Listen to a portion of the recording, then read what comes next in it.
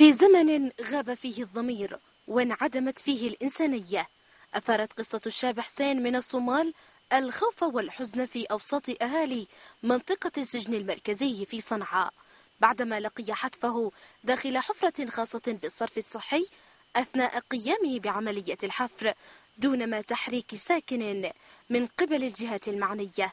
الخندق هذا أو المجاري هذه تهدمت تهدم التراب إلى فوق الصومالي هذا العامل والذي كانوا موجودين طبعا تدافعوا لإنقاذه فلم يكن هناك آلة تساعدهم من أجل الحفر من أجل الحفر على إخراجه.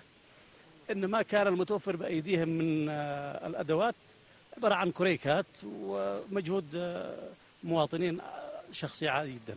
لا تزال الأرواح رخيصة والاستهتار مستمرا والعجز قائما حتى عن تقديم الإسعاف أو الطوارئ لمثل هكذا أحداث. واحد من العمال الدفن على بخط المجاري. فوصلنا لهناك. ما هو؟ قالوا في واحد صومالي دفن نزل بالحفريات يحفر ودفن بالمجاري. فاتصلنا بال بالإسعاف. ما جاش. اتصلنا بالطوارئ قلنا عملكم بلد الدفاع المدني. قالوا مش عملنا. اتصلنا بالأمانة. قالوا إحنا نرسل لكم ناس. ولا حدا جاء ولا حدا ولا حدا جاء حفرة عميقة. عجزت الجهات كافة عن الوصول إليها لإنقاذ الشاب حسين الذي ظل داخل الحفرة أكثر من ساعتين.